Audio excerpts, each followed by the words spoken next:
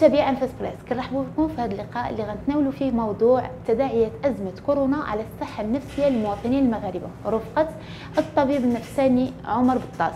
أهلا بك دكتور. أهلا شكرا. آه، دكتور عمر بطاس آه، كيفاش اثرت أزمة كورونا على الجانب النفسي للمغاربة؟ واثرت بشكل سلبي التاثير كان سلبي لأنه لاحظنا بأنه كان ازدياد على ازدياد بعض الأمراض النفسية بعض الضغوطات النفسية على بعض المواطنين المغاربة. كاين جوج كاين جوج الأنواع اللي لقينا هو أنه الناس اللي كانوا مرض أو في السابق كانوا تعرضوا لشي مرض نفسي بحال عاود وقعت لهم انتكاسات يعني انتكسوا من جديد. وكاين اللي أول مرة ظهر عندهم أمراض نفسية. لو بغيتي نقول لك النوعية اللي كثرت اللي لاحظنا بكثرة هو اضطرابات ديال النوم خصوصا الاكتئاب اضطرابات ديال القلق. هادو ثلاث الانواع اللي لاحظنا بأنهم هما اللي ارتفعوا بزاف خصوصا الاكتئاب. وشرتي لواحد النقطة أن الأزمة ديال كورونا ملي كشفت لنا على هذه الاضطرابات النفسية اللي هي ممكن كانت مرافقة هاد الناس من قبل ولكن ما كانوش عارفينها آه، دارت دارت دراسات اللي كشفات على أن الناس اللي تصابوا باكتئاب ولا اثرت فيهم هذه الأزمة ديال كورونا هما الأكثر عرضة للإصابة بهذا المرض. آه، ممكن لأنه بعض الأمراض النفسية وعلى راسها الاكتئاب كيأثر على المناعة كينقص الإنسان المناعة كتنقص المناعة النفسية ولكن حتى المناعة الجسدية. فبالتالي ملي كتنقص عنه المناعة كيقدر أي أي مرض مثلا بحال هذا أي فيروس يفتك بهم اذا كانت تصادفوا معاه في هذيك المرحلة اللي هما مكتئبين فيها أو معرضين للاكتئاب وما كتشوفش دكتور أن هاد الكورونا واخا هكاك اللي جينا نشوفوها من جانب إيجابي فهي عزات لنا الوعي بالثقافة ديال الطب النفسي. يعني الناس ولات أكثر إقبال على الطب النفسي. أكيد هذه في العالم كله. اصبح الآن الجميع كيقول بأنه بانت أهمية الصحة النفسية. كانت المجهودات كلها كدار على الصحة الجسدية. لا من ناحية الموارد البشرية ولا من ناحية الإمكانيات اللي كتعطى الامراض الجسدية. كان من نوع من ما كاين ما نقولوش إهمال ولكن بحال عدم الاكتراث بأهمية الصحة النفسية. ففي العالم الآن بان بأنه في جميع الدول حتى الدول المتقدمة أهمية الصحة النفسية والاستثمار والمجهود اللي خصو يدار في المجال ديال الصحة النفسية. لا تطعيمه من آه، يعني تزيد في الموارد البشرية ولا آه، الإمكانيات المادية ولا اللوجستيه هذه بانت بقوة وخرجت في جميع المسائل اللي كت دابا كتنشر منظمة الصحة العالمية كتشير لهذه النقطة بقوة. وجميع المختصين دابا الآن كيشيروا لها ماشي في المغرب. وهذه المسألة ديال ارتفاع هذه الأنواع ديال الأمراض مع الجائحة لوحظ في جميع الدراسات في جميع في العالم كله ماشي نعم. في المغرب. فعلا. الصين هي الأولى نشرات ونشرات ارتفاع ديال الاكتئاب ديال اضطراب القلق ديال اضطراب النوم. وكاين واحد الجانب أخر اللي لقيناه ارتفع وهو آه هذا. حالة انتحار حالة الانتحار بعض الحالات كيجي مع الاكتئاب العنف الزوجي. نعم. ارتفع حتى هو مع مع ذاك الجائحة وخصوصا ملي وقع الحجر الصحي. فعلا. الحجر الصحي من الضحايا ديالو النساء وي. اللي كانوا ضحايا العنف. ثانيا هما الأطفال. في الأول ما ما تنتبهوش لها المختصين ولكن دازت واحد شهرين ثلاث شهور على على الجائحة بان التأثير على الأطفال لأنه حتى الطلب حتى الاضطرابات النفسية بدات كتبان على الأطفال.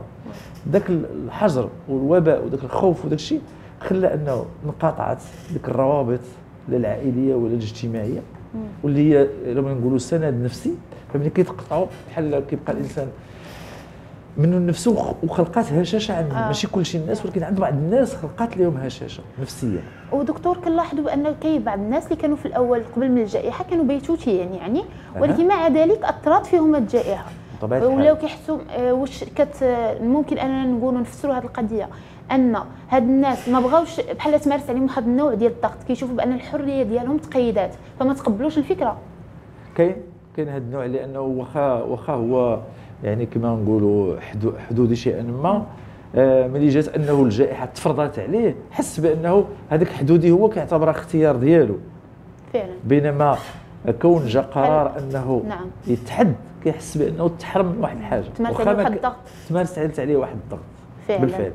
ومنين ذكرنا العنف الأسري؟ العنف العنف الأسري اللي آه، بان في الفترة ديال الكونفيرمون خصوصا ياك في الأول ديالو. فما بعد قلتي بأنه كان ممارس على الزوجات ولكن راه في بعض الحالات رشنا بأنه كان متبادل يعني بالأزواج بجوج. وحتى الأزواج آه، مع الأبناء ديالهم يعني ولاو كنشوفوا بأن آباء وأمهات اللي وصلت لهم درجة حتى بأنهم قتلوا الأبناء ديالهم للأسف. فهاد الشيء كامل بيناتو لنا كورونا. فكيفاش نقدروا أننا نقصوا أو نخفوا خصوصا إحنا باقيين كنتعايشوا مع هذه الجائحة هذه كيفاش نقدروا نخفوا من هذه الآثار السلبية اللي جات جابت بها هذه الجائحة؟ وهي خصها تكون واحد المقاربة شوية شمولية فيها بزاف الأطراف اللي خصهم يتدخلوا. مع الإعلام مزيان للتحسيس بهذه المشاكل. آه كاين ملي كتكون شي هشاشة اقتصاديه ثقافيه وداك الشيء كتلقى هذه المشاكل بزاف كتلقى العائلات فيهم هذه المشاكل. كاين كاين الصحة المدرسية اللي خص ربما ترجع تعطاها أهمية. لأن هنا في الصحة المدرسية كيمكن لك تكتشف العنف الأسري عن طريق الطفل. إما كيكون هو ضحية إما كيكون شاهد على هذاك العنف الأسري ما آه. بين الوالدين أو هو حتى هو كيكون ضحية.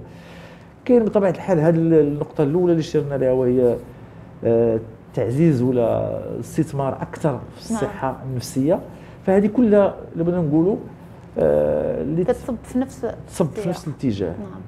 ومني دوينا على هاد المجهودات اللي خاصنا نبدلوها باش نعزوا من يعني الوعي ديالنا بأهمية الصحة النفسية للمواطنين. ما كتشوفش بأن آه، يعني العلاجات النفسية كتكون مكلفة شيئا ما بالنسبة للناس.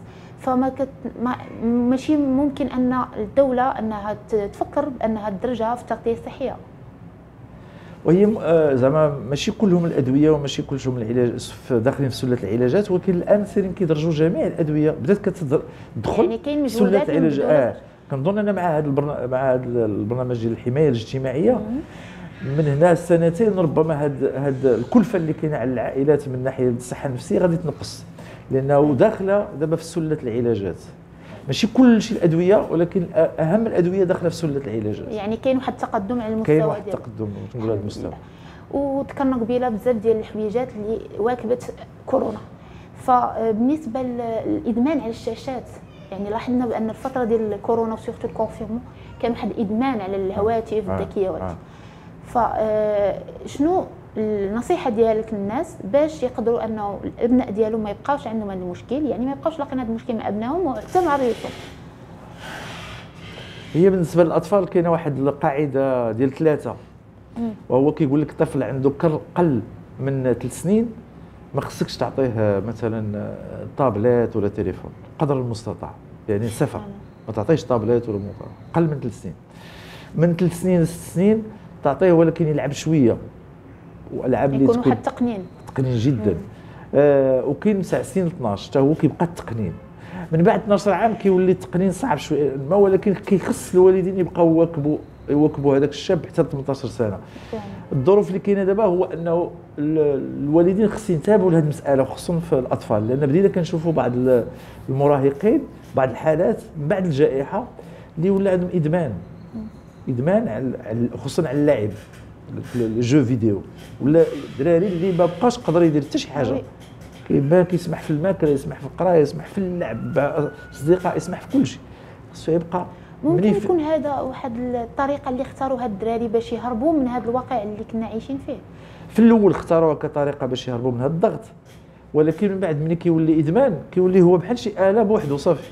واخا واخا دابا ترفع الحجر الصحي واخا رجعت تقريبا ما حياه طبيعية. ما استطاعوش ينقلعوا ماشي كل شيء المراهقين ماشي كل شيء الشباب ولكن واحد الفئة. ديك الفئة اللي عندها كتكون عندها واحد نوع من الهشاشة. آه وهذا المشكل ما بقاش حكر على الشباب فقط والأطفال وإنما ولا حتى الكبار. حتى الكبار لقاو راسهم دمنوا هذا الكبار آه بالفعل كاين الكبار عاوتاني اش كنلاحظوا عندهم ذاك اللعب ديال القمار اللي كان مباشر ولا اللعب بالقمار عن طريق الشاشة. عن طريق الشاشة. آه. هي نفس كتصب في نفس في نفس الشيء. يعني. فعلا. آه. وشنو هي الإكراهات اللي واجهتكم أنتم كمختصين في المجال النفسي؟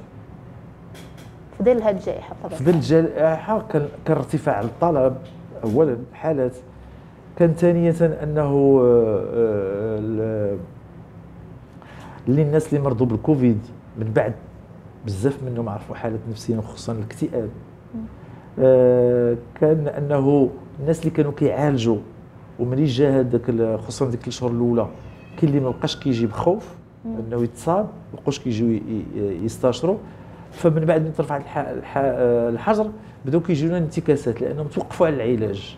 فعلا. كانوا غاديين في العلاج ووقفوا. هذه من الأشياء زعما البارزة اللي لاحظنا من بعد الجائحة. كنشكروك أستاذ على الاستضافه ديالك وعلى رحابة الصدر ديالك. وعطيتينا من وقتك ومن وقت ديال les patients ديالك. شكرا, شكرا. بزاف. شكرا. وهكا كنكون وصلنا للنهاية ديال حلقتنا اليوم. نضرب لكم موعد في حلقة جاية إن شاء الله.